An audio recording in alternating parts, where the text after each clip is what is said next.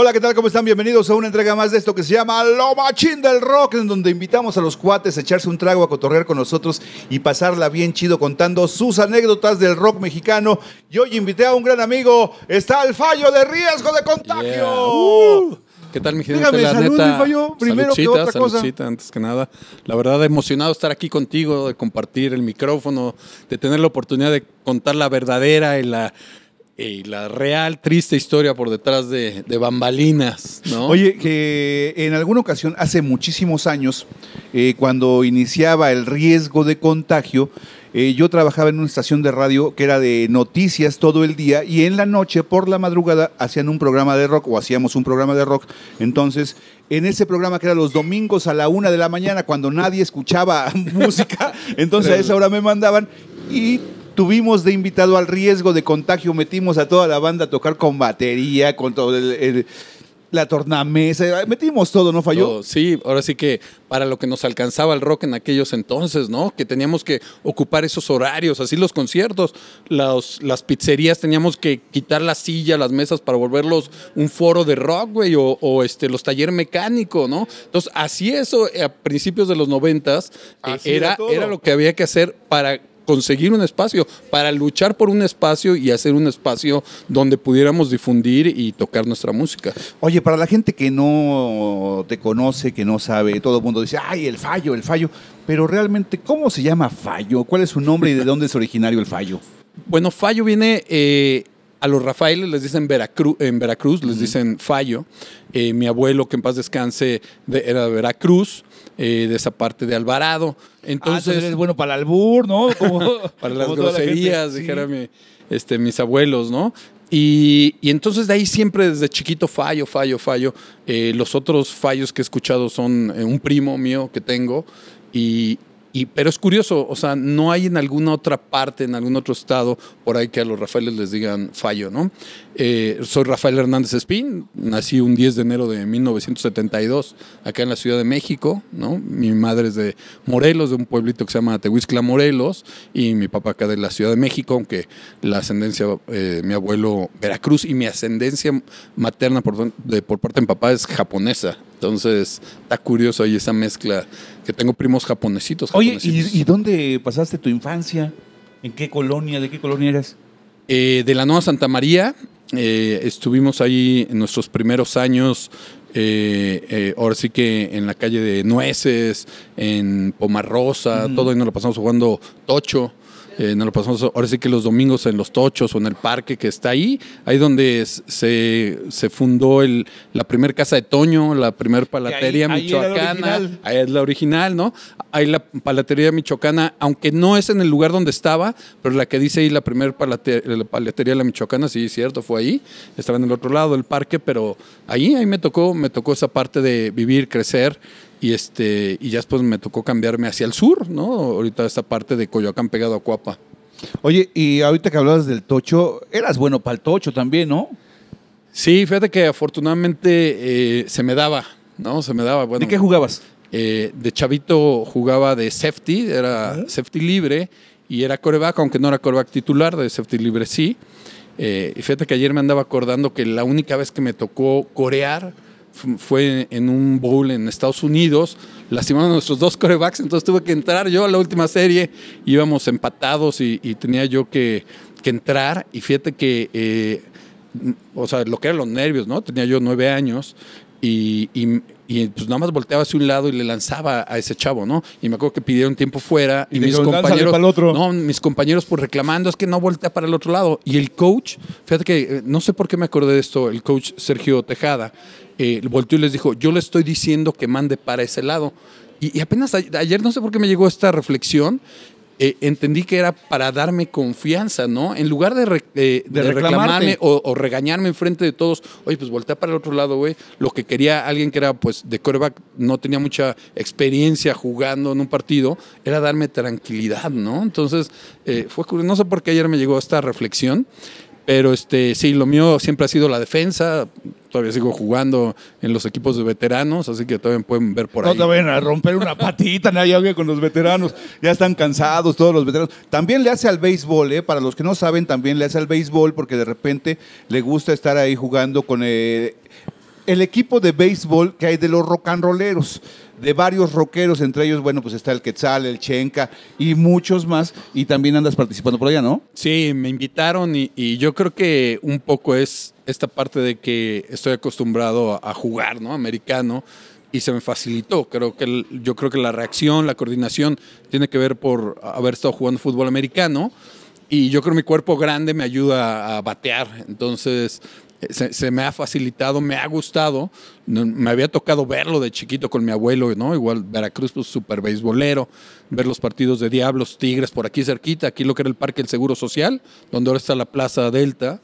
Ahí Ahí me- el, estadio. el estadio de, de los Diablos y también jugaban ahí los Tigres, y, y- pero nomás lo había visto, ¿no? Y hasta ahora, hace que empezó esto de la pandemia, empezó esto de los rockeros con el bat y, y las pichadas y las ponchadas, eh, ahí ando, parte del equipo con todos ellos, con el Panteón Rococó, con Kinky, este, pues con Agnes también ahí de Ahí andan Masacre, andan, sí, todos, hasta las chicas, Tammy, este, Jessie, todas ellas por ahí andan. Oye, tú estuviste en una escuela marista, ¿no? Estudiaste en una escuela marista que quiero entender que es de, de padres, para los que no saben, bueno, es una escuela donde la religión es importante, ¿no?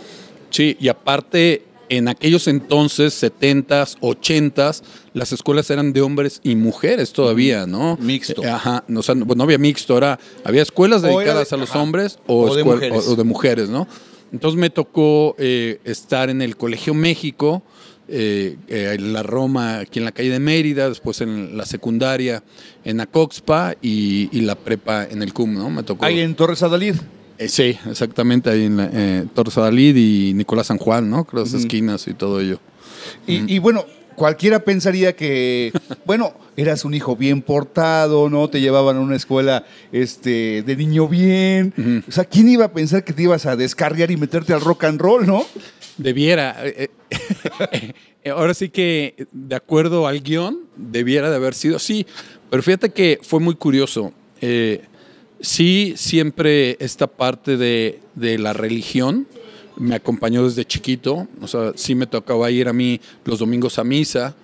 Eh, esta parte de que en la escuela todos los lunes teníamos eh, que ir a, la capilla del colegio y, y que teníamos tres veces a la semana clase de religión, ¿no? Eh, creo que es algo que ahora que tuve la oportunidad yo de escoger la escuela a mi hijo, nunca lo considero opción, ¿no? Después de que yo cursé por ahí. Ahora no lo veo como opción. Pero en aquel entonces, pues, eh, mis papás con para ellos lo que creían que era lo mejor de darnos las mejores herramientas a mi hermano, a mí, igual a mis primos, pues nos pusieron ahí. Y, y de ahí hay una anécdota muy buena de por qué Que me está llevó al rock. Porque, ¿no? porque usted fue el niño que le cantó al Papa. Exacto. Bueno, ibas a ser el niño que le cantó al Papa. Exacto. Eh, yo en primero de primaria entré a la rondalla. Bueno, mi tío Don Lucky, que en paz descanse, siempre habíamos, los domingos teníamos nuestras reuniones familiares, teníamos nuestros domingos familiares. De ahí eh, surge el nombre del domingo familiar, un domingo familiar Casi del primer disco. Y, y era porque para mí todos los domingos era comer en casa de los abuelos, estar tanto la familia de mis primos y nosotros, estar ahí cotorreando. Entonces mi, mi tío agarraba su guitarra y se ponía a tocar el perro lanudo, se ponía a tocar De la década de los popotitos. güey. 60. Sí, sí, entonces e- eso estaba chingón. Para nosotros en la escuela no nos enseñaban eso, ¿no? A nosotros en la escuela pues nos enseñaban... El Ave María. Exactamente, ¿no? Eh, todas esas canciones que tenían que ver un poco con religión. Eh, entonces, pues yo cuando entro al, ahí al Colegio México, en la primaria, primero exactamente para precisar, pues mi actividad extraescolar que escogí fue la rondalla. Entonces, pues yo iba con mi guitarra acústica, iba y nos ponían las canciones, y entonces llegó la noticia que venía el Papa Juan Pablo II en 1978, ¿no? Creo que era 78, 79. Más o menos 79, ¿no? Para eh, ubicarnos, creo que mejor era 1979. uno de estos. Yo, yo estaba primero de primaria, eh, este, tenía seis años cumplidos y, y entonces estábamos emocionados, ¿no? Todos, para nosotros el pensar que le íbamos a cantar al Papa era algo así como, wow, güey, ¿no? O sea, viene lo que nos han enseñado, ¿no? O sea, todo esto del Marcelino Champañaje y todo esto.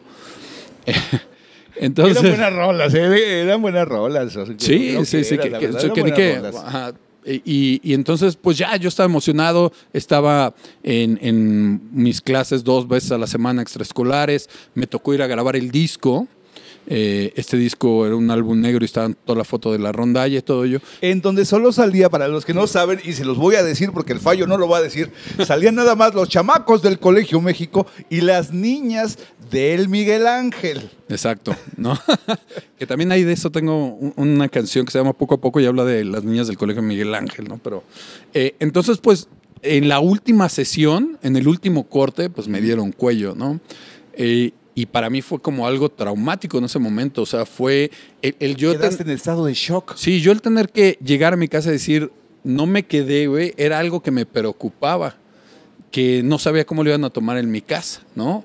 Oye, pues no voy a estar en el evento grande, en el evento que debiera todo mundo estar, tiene güey, que ¿no? estar. Ajá, que todos los que estamos en los colegios maristas y de monjas queremos estar. Entonces, yo del coraje, eh, una persona que trabajaba eh, con mi papá y era quien nos recogía y nos llevaba a la escuela, ese día le dije, oye, llévame a la tienda de discos. Y fui a estas tiendas Discolandia, no sé si recuerdes. Que eran muy famosas. Muy famosas, tenían sus viniles de color a naranja, amarillos de los 70 colgados. Y entonces yo llegué y, y pregunté, oye, ¿dónde encuentro la música del diablo, la que le canta al diablo, al demonio, no? Se rió de mí, la persona, o sea, yo no lo entendía, se rió de mí. Y pues dice, no, pues por allá en la esquina, güey, ¿no? Pero fíjate cómo estaba toda esa música, pues hasta, Hasta allá en la fondo. esquina, güey, ¿no? Ya en, en aquella bandeja. Y pues ya fui, busqué y empecé a ver los discos y de repente yo no los conocía, veía las portadas, de repente vi unas y dije, ay, güey, esto está demasiado diabólico, ¿no? Y eran unas portadas de Iron Maiden, ¿no? Eh, de ACDC, y, este, y entonces pues agarré uno que, que, que quizá no se veía tan diabólico, dije, pues para entrar, ¿no? Para empezar a comenzar con todo esto, y era de Steve Winter. No, de Johnny Winter. Ah, de Johnny Winter. Ajá. De Johnny Winter, eh, guitarrista, era de la serie Monstruos del Rock, así se llamaba toda esa serie. así venía marcado, ¿no? Monstruos el del Rock. Y fue el disco que me llevé y fue, dije, ah, pues si hora de coraje, pues voy a escuchar música del demonio, del diablo, güey. Y, y ya después de ahí fui, fui por un disco de ACDC, después compré uno de, de Pink Floyd, entonces fue que empecé a hacerme de música diferente a lo que mi entorno me llevaba, ¿no? A, a donde me dirigía. Y entonces aparte de, de haber quedado eh, traumado, frustrado, no haberle cantado al Papa, pues ya después lo fui sacando años con años y ese disco donde canto ahí con la rondalla, en el disco de en el Demasiado Peluche hay una canción que se llama eh, Kinder Panchito, creo, y, y salimos rayando ese disco, ¿no? Acá, este, todos tú eres mi, mi hermano del alma, ¿no? Y lo rayamos a propósito, así como... Como coraje, como, como venganza. coraje, güey, sacando el coraje todavía 20 años después, 15 años después, ¿no? De ese suceso. Y, y pues bueno, qué bueno que sucedió, porque a lo mejor ahorita estaría todos los domingos en una iglesia cantando o estaría cantando en otro lado, güey, ¿no? Que, que, que bueno, qué bueno que sucedió así. Uno después entiende por qué pasan las cosas. Oye, y tu carnal, el gordo, y, y- y tú arman eh, después lo que sería el riesgo de contagio. ¿Cuándo se les ocurre formar esa banda? Digo, estamos hablando que a principios de 1991 ustedes ya están armados y quiero entender que antes del 90 ustedes ya están trabajando en armar la banda. Sí, fíjate que con todo esto, igual que contaba de los domingos familiares, eh, había días que cuando era el santo de la abuela, ¿no? Que los 12 de diciembre le festejábamos eh, a la abuela, ¿no? Porque es Guadalupe. Entonces hacíamos nosotros nuestras obras de teatro. Entonces, pues actuábamos ahí para la familia, güey. Y, y, pues nos gustaba esa parte de escuchar los aplausos, ¿no? Aunque eran nuestros familiares, nuestros papás, nuestros tíos, nuestros Se sentía abuelos. bonito, se sentía eh, bonito. Exacto, ¿no? Y, y en la tele, de repente uno veía eh, en los domingos, en- siempre en domingo, y Raúl de repente Velasco. Raúl Velasco y, y- y veía Parchís, ¿no? Veía Menudo. Entonces de repente dice, ay, güey, pues un grupito así con mis primos, pues podemos eh, hacerlo, ¿no? Nosotros, los Hernández. Entonces, pues ya uno va creciendo y de esta forma que va creciendo, eh, pues ya empieza a tener otros gustos musicales. Que también, fíjate que fue curioso, porque llegando a la prepa, en el año 1989, en mi último año de, de prepa, eh, jugando americano, quedamos campeones, yo era el capitán del equipo, al otro día eh, no llegamos, por ese día fuimos a festejar al, al Liverpool de Insurgentes y nos metíamos a la fuente, hacían los festejos de los equipos de americano. Entonces nos metíamos a las fuentes, entonces al otro día había eh, en los periódicos alumnos del Vándalos. centro del Centro Universitario México va- ajá, este, Vandalizaron. vandalizaron, güey, el centro comercial Liverpool. Yo me acuerdo de, güey. esa- de- de ese ¿No? periódico. Im- Imagínate. Creo que sí te vi, güey. No, pues imagínate. Entonces, pues el director nos manda a llamar, güey.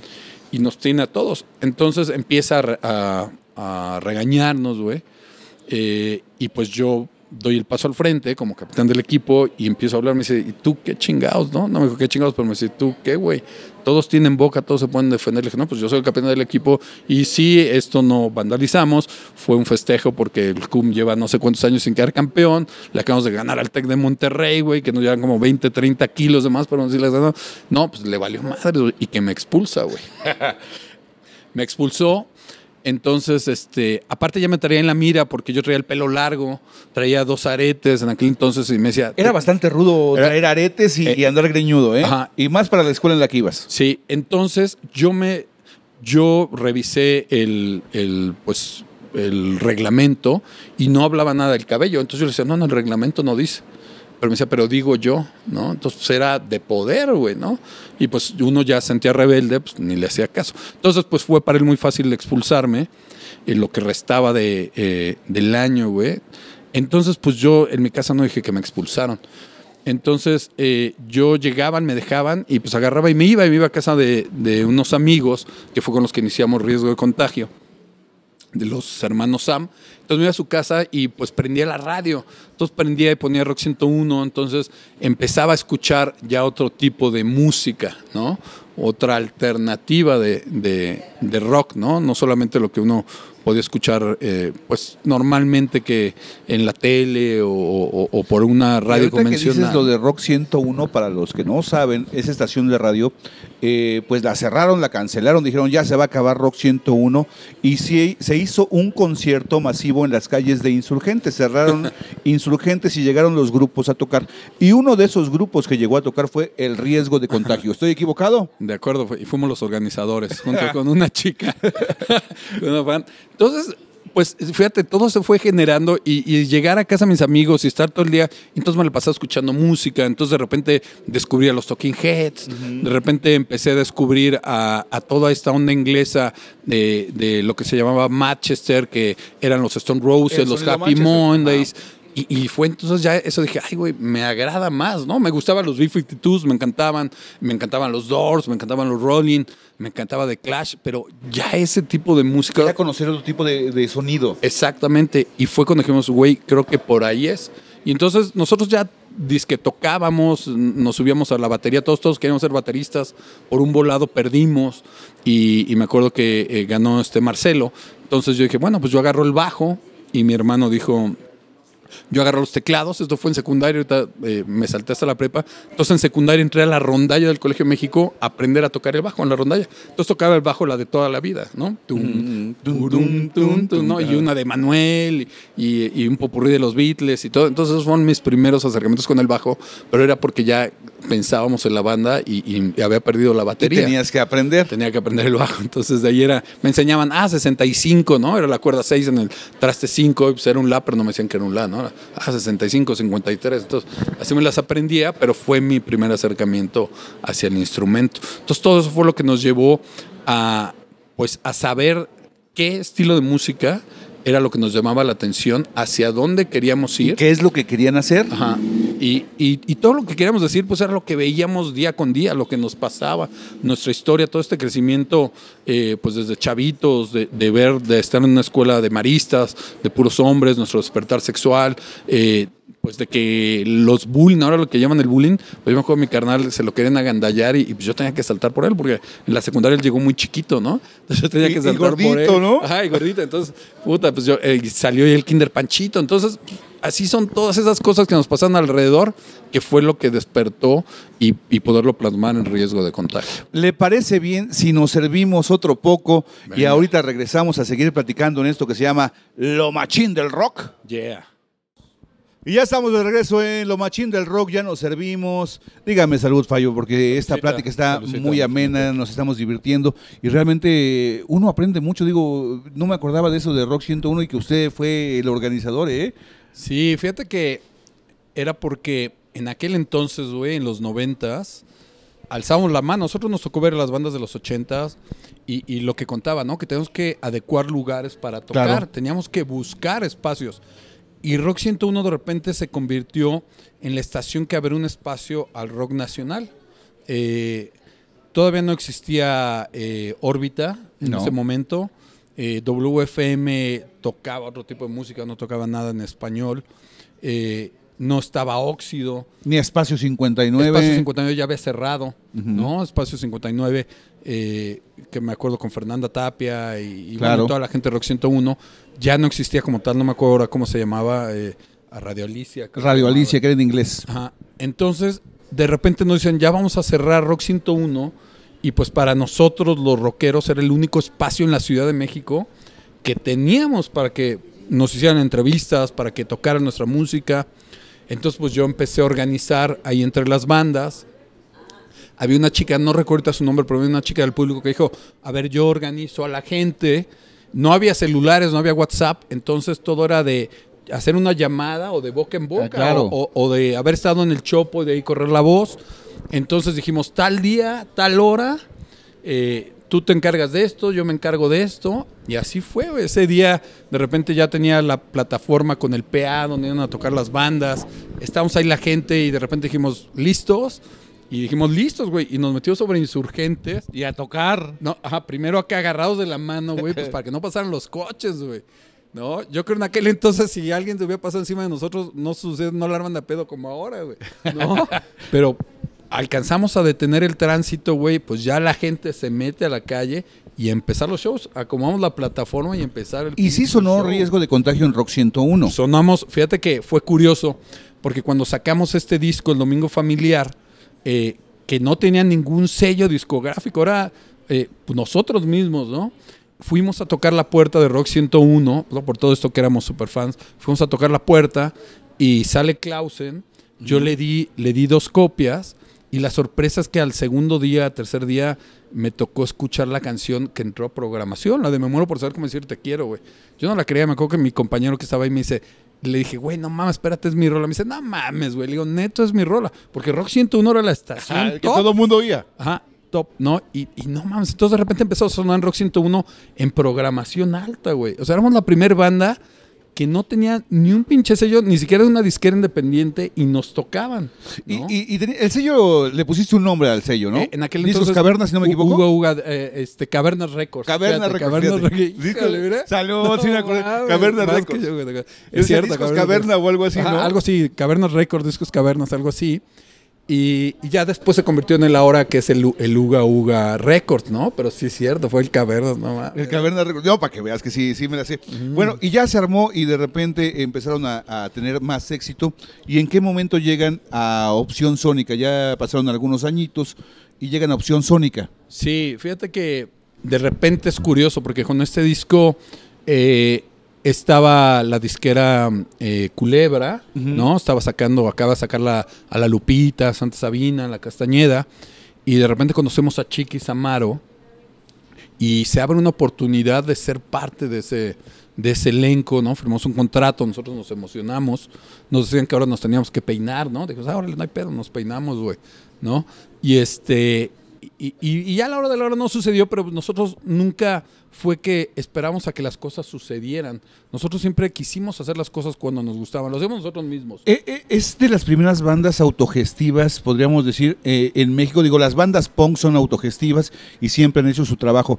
Pero de las bandas, eh, podríamos decir que Riesgo de Contagio es de las primeras bandas que se arriesgan a ser independientes. Sí, yo creo que sí, porque te digo, había disqueras independientes, ¿no? Como Opción Sónica, como Discos Denver, este, que, que bueno, de tenían cierto presupuesto para mandar a las, a las bandas a grabar a un estudio, que tenían cierto presupuesto para hacer a, la- a lo mejor alguna gira de medios o, o llevarlos eh, a alguna otra ciudad, ¿no? Nosotros, güey, éramos nosotros mismos, dijimos, lo queremos hacer ahora, ahora lo hacemos. No dependemos de que nos digan o nos doren la píldora. De repente llegaban las oportunidades y parecía que se abrían, pero no era algo de, de lo que decíamos, ah, sí, vamos a esperar, ¿no? Pues si sucede Es tocar chingón. puertas y buscar. Ajá, exactamente. Si sucede chingón, si no, yo sigo en lo que creo. Sigo haciendo lo que creo, lo que me gusta. Y, y si nos alcanza, chingón, güey. O sea, si nos alcanza al, al parejo que vamos nosotros, chingón. Si no, no. Y de ahí varias historias de bandas que grabaron su disco y nunca salieron, ¿no? Piezas sueltas, de insignia, su segundo disco. Materiales de bandas que creo tenían buena propuesta y por estar esperando, nunca pasó. Entonces, riesgo, no, no hicimos eso. Y ya después nos acercamos con Opción Sónica, porque yo era, eh, pues se puede decir que eh, cliente, cliente de, de Opción Sónica. Iba a comprar mis discos de los Pixies ahí, de Sonic Youth. Iba a que me recomendaran bandas, ¿no? Nuevos sonidos. Y entonces un día le presenté a Edmundo nuestro material. Y dijo, oye, güey, pues vamos a, distribuirlo. Y, y dijimos, órale, va. Entonces lo distribuyó, sacamos una reedición de ese disco, grabamos el. eh, bueno, primero grabamos el disco El Demasiado Peluche. ¿En Estudio 19 o en dónde fue? Eh, no, primero el, el, el 97 fue con Juan, el de Juan y los Necios. Grabamos era el grupo de los necios, que eran este finales de los 80, principios de los 90, que los necios tenían una canción que se llamaba El Gorila, Los. Necios. Sí, con él, con él grabamos el segundo disco y, y conocimos a Ricardo Ochoa que nos lo mandó, ya cuando estaba grabado, lo mandó para la mezcla, nos lo mandó Ujú. Edmundo. Eh, entonces ya dio algunas opiniones de mezcla porque pues ya estaba todo grabado, o sea, ya no tanto en producción. Y, y después para reeditamos el, disco original de Domingo Familiar con algunos temas de demo, eh, grabamos la versión del FUS, de los psicóticos, y ya después nos manda para el disco del 2000, nos manda Estudio 19, ¿no? El mundo dice, oye, pues ya este es el disco de opción sónica, le voy a apostar, nos manda Estudio 19, que en aquel entonces era de los discos de las... eh, De los eh, estudios, mejor paraditos, ¿no? paraditos, ajá, en, en cuanto pues a equipo, en cuanto a producciones. Y, y pues ya, me acuerdo que íbamos a grabar ahorita que decías de Radio 13 a la 1 de la mañana, hacían nuestros horarios. Eh, De grabación, De ¿no? grabación, güey. Así, a esa nos alcanzó, mandaban, güey, sí. Nos mandaban de 10 de la noche, güey, a 6 de la mañana, güey. Pues ni era, pedo, güey, que era- ¿no? que era, creo yo, cuando se iba la gente de los sindicatos, porque de- creo que tenían un sindicato y, y entonces no dejaban grabar. Y ya cuando se iba esa gente, entonces eh, metían a los grupos que, que- que eran de rock, ¿no? Exacto, sí, sí, ha- había todo esto. Antes los sindicatos eran muy fuertes en México, el sindicato de trabajadores de la música, ¿no? De los ingenieros de audio y todo ello. Y sí, e- era así por cuestiones de que, ok, pues ya vienen los rockeros, güey, pues ya ese horario te sale también un poco más varas y, y puedes hacer lo que quieras, ¿no? y fue cuando Opción Sónica, desafortunadamente ese disco de 2000 nunca salió más que el primer sencillo, que era El Consejo, y me acuerdo que salió y empezó a sonar en, en órbita y a la semana ya era número uno, eh, pero ya nunca salió, se tuvo que sacar del, del aire. Oye, y luego viene una etapa difícil para lo que es eh, riesgo de contagio, porque viene la muerte del DJ, ¿no? Mm. Querido, lo seguimos recordando. Y eso hizo que el riesgo parara en el camino del rock and roll, ¿no?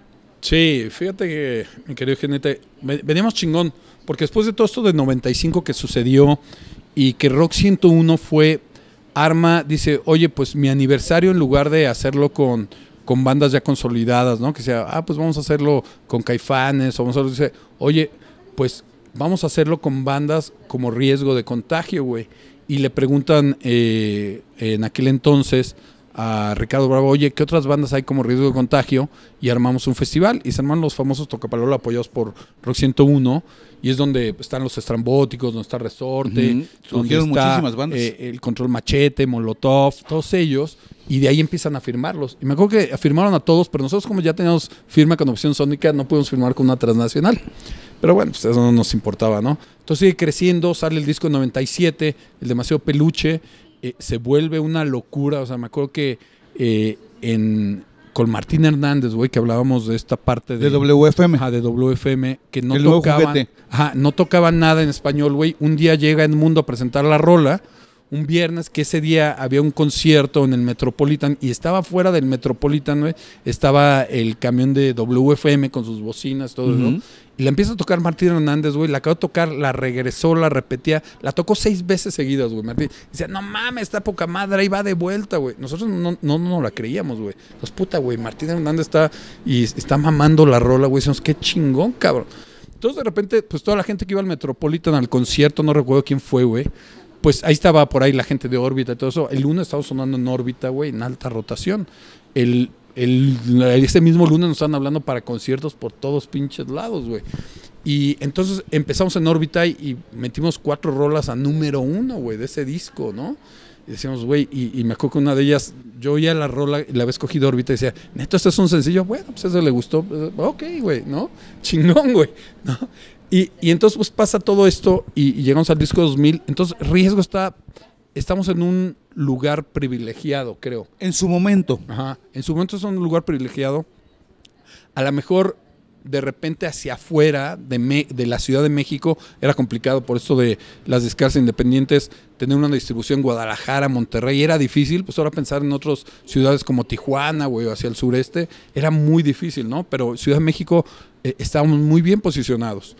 Y, y la idea con este tercer disco era reventar todo ello. Y ese tercer disco de repente Sony le propuso a Edmundo, oye, quiero la rola, güey, de Cuando odio sonreír, vamos a lanzarla, eh, de Universal, dijeron, quiero todo el disco completo, güey. Yo de repente a Edmundo, o sea, yo le dije... O sea, venían cosas interesantes, Venían cosas- fuertes. yo, le, yo a Edmundo le dije, ¿sabes qué, güey? Universal, o sea, yo hacía el Chile y acá contando la neta, le dije, Universal lo está haciendo, güey, para retrasar nuestra salida porque quieren sacar sus discos, güey. Yo le dije, güey, vámonos con Sony. Es que Sony nada más es una rola. Le digo, no importa, güey, es una rola y de ahí que explote todo, güey. ¿no? Pero Universal te está dando largas, güey, porque quiere sacar todo su material, ¿no? Yo lo pensaba estratégicamente, güey, ¿no? Y tuve razón, ¿no? Y, y Edmundo, por estar esperando eso, pues tronó opción sónica. Eh, esta parte que truena, pues nos lleva a que el riesgo de contagio, pues ya después que nuestro último disco era 97, habían pasado cuatro años, la gente estaba esperando un disco, parecía que venía, se tuvo que, que apagar. Y, y pues entonces seguíamos tocando, de repente tocábamos, pero ya no era igual, ¿no? De repente en, sale una disquera, güey, que se llama The Box, no sé si te acuerdas, Ajá. que era donde firmó Genitalica y Pito Pérez, que era una banda de... Eran bandas de más chiquitas que ustedes. Ajá. Y, y firmaron y nos dijeron, oye, yo quiero sacar todo el material de riesgo, güey. Y dijimos, órale, pues va, güey. Ah, y habíamos salido ya con MW Records en 2004. Este, sacamos MW Records y de repente parecía que todo regresaba a su cauce.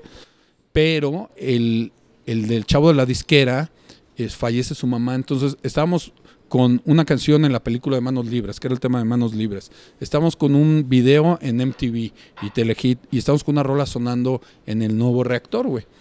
Y, pero no había discos en, en las tiendas, no había discos en distribución. Y entonces, eh, pues de repente la gente pues, se cansó de buscar el disco, no sucedió nada, pero entonces aparece esta disquera de Vox y nos dice, yo quiero todo hasta relanzar el nuevo disco, pero quiero todo, quiero que regrese Alejandra a la guitarra y, y nos dijimos, órale, chingón, güey, contrato, pa, pa, pa. Estamos listos, güey, ya, ya estaba ahí para la salir firma todo. para salir y, de- y agarran a este cuate eh, que venía con los amplificadores llenos de dólares y resulta que era de los 10 más buscados de la DEA, güey. No mames. Con los amplificadores, creo, de Genitalica, güey. No sé qué se había traído, güey. Y pues todo valió madres. A, lo- a cayó ese todo. se cayó todo, güey. Pero dijimos, güey, qué pedo, güey, ¿no? Pero pues nosotros dijimos, bueno, lo que sigue, eh, teníamos ya con todo este regreso que grabamos para el disco tributo a mm, este. eh, la de Perdóname, mi amor, por ser tan guapo, De de, Rigo Rigo Tobar. Tobar. Eh, grabamos por todo esto otra vez, este boom que se estaba generando, que estábamos ya listos, y fallece el DJ, cabrón. Entonces fallece el DJ y es alguna, algo que nos golpea en el corazón así sentimentalmente, güey, porque a Adrián y a mí nos tocó ir por- a su casa por él. Había pasado una semana que había fallecido y no nos habíamos dado cuenta, güey. Entonces, puta, eso nos madrea. Fue un madrazo. No, no, no, güey. O sea, llegas, ves a su casa, ves que está ahí una cubeta y, y yo creo el güey volteaba y, y volvía sangre, ¿no? No, un- un- una escena muy fea y, y yo, yo no pude, el baterista ya no pudimos, dijimos, güey, hasta aquí, ¿no? Hasta aquí llegamos. Y así fue hasta que por los 20 años dijimos, vamos a grabar de vuelta nos empezamos a activar, regresamos al Vive Latino en 2021, 2022 creo, no, 2012, 2012, el Vive Latino 2012, y de ahí como que otra vez empezamos a generar, a decir, bueno, pues vamos a aplicarnos. Y para los que no saben, eh, el riesgo de contagio estuvo en el primer festival Vive Latino, cuando todavía se llamaba eh, Primer Festival Iberoamericano de Rock. ¿No? Así, se, así lo presentaban con bombo y platillo y riesgo de contagio ahí estuvo. ¿no? Y ahora están de regreso, están trabajando y están haciendo cosas muy interesantes. Bueno, ya celebrando lo que es eh, los 30 años de, riesgo de contagio, porque vienen, eh, bueno, ya está el volumen 1 del disco de aniversario de los 30 años. Mm. ¿Que ¿Por qué 30 años? O sea, a ver, explícame lo de los 30 años. Yo entiendo que es del 91 y entonces serían 32. Ajá, exactamente. Todo empezamos en este momento de que la pandemia nos alcanzó, güey, celebrando el 2 de julio del 91 nuestro primer concierto que fue en Rocotitlán. Y, entonces es para nosotros nuestra fecha de arranque. Entonces, ahora en este 2 de julio vamos a cumplir 32, pero todo esto fue con la idea de a los 30 años lanzar estas 30 canciones, pero la pandemia nos alcanzó, de repente algunos invitados pudieron ir al estudio a grabar, algunos nos mandaban su material, otros no podíamos concretar por todo esto que no podían viajar o, no coincidíamos, entonces pues se fue atrasando y, entonces lo que hicimos fue ir lanzando una rola cada seis semanas aproximadamente. Entonces sacamos todo el volumen 1, eh, donde hay invitados como el Panteón Rococó, Los Amantes de Lola, DLD, eh, el Alex Lora, este, Los Rabanes, eh, Jesse Bulbo, muchos, este, Armando Palomas, ¿no? Y, y, sacamos estos primeros 10, 11 temas Ahora empezamos con el volumen 2 que acaba de salir este año con la canción ¿Qué te robas? donde está Cecilia Toussaint, está Julián Andrés, Sabor Romo. Que esa canción está bien buena porque está bien latina, guapachosa y sabrosa y con la voz de Ceci y del riesgo pues oye de lujo, ¿no? No, no, Ceci, Ceci, Ceci tengo que contar, ahora de alguna forma somos como familia. ¿No? Porque mi primo hermano se casó con, este, con su hija. Entonces, mi sobrino del que yo soy padrino, pues es su nieto, ¿no? Entonces, sí, eh, está increíble, la verdad, increíble como el resultado, ¿no? Que, que han ido, no solamente esta rola, sino varias, que hemos tratado de llevarlas hacia donde nuestros compañeros se sienten cómodos, hacia donde ellos realmente sus temas son donde los producen.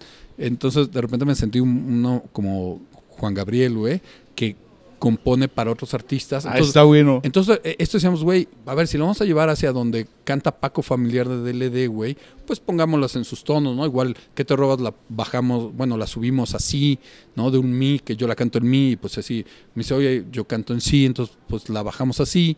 Y, y, entonces empieza a Tratar de acomodar para que todo quede, todo mundo quede conforme y a gusto. Ajá, y, y donde cada uno se desenvuelve eh, pues en, su entorno, ¿no? O sea, Ceci, qué bárbara, ¿no? O sea, seguramente le hubiera cantado el mí también, pero escucharla en su tono que es, e, está increíble. Y así hay como cada canción, empezamos a llevarlas hacia donde se sienten cómodos nuestros compañeros y, que también fue como para riesgo eh, el tratar de ver que podíamos en esa parte de composición llevarla hacia esos lados, no hacia donde nosotros nos sentíamos cómodos, ¿no? Oye, y también viene algo con Miguel Costas, ¿no?